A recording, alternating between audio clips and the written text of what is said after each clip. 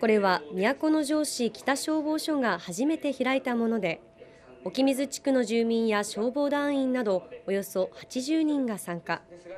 まず2020年の熊本豪雨で被災地に派遣された消防署員が当時の様子や救助活動について講話しました。